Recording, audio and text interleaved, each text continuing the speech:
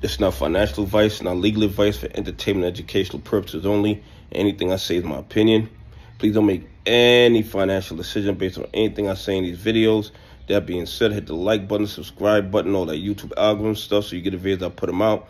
So you I'm thinking, see, I'm analyzing that data. But like I tell every day, the data they release us is false. Man, it gives a false narrative of the markets. We can make bad trading decisions. Listen, I'm not here to buy, hold, or sell BYD stock. Okay? It's it, it's it's BYD car. They make EVs. These guys passed Tesla in in in quarter four of 2023. They delivered more vehicles than Tesla.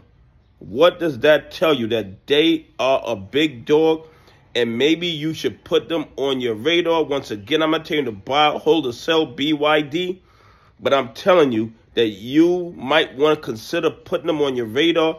Do some research on the company. The stock symbol is BYDDY. And guess who is their biggest investor?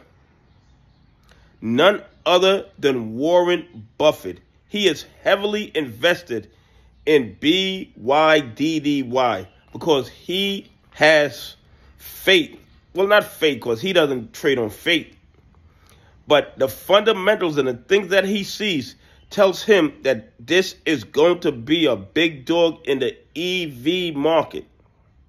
Okay? When you pass Tesla with the most delivered vehicles, you are making power moves. I mean, there's no other explanation and they're supposed to open a factory in Thailand, and they have announced a European factory in Hungary. Okay? And you know what every other EV dealer says? Nobody can match BYD prices. Nobody. They make the most cost effective EVs in the market. The bottom line is this.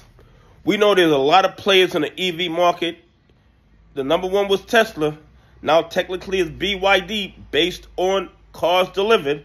But you have NIO, you have Rivian, you have Lucid, you have a lot of other companies. But when it comes to sheer volume, when it comes to touching the market on all continents, BYD in my opinion, is going to be a major player.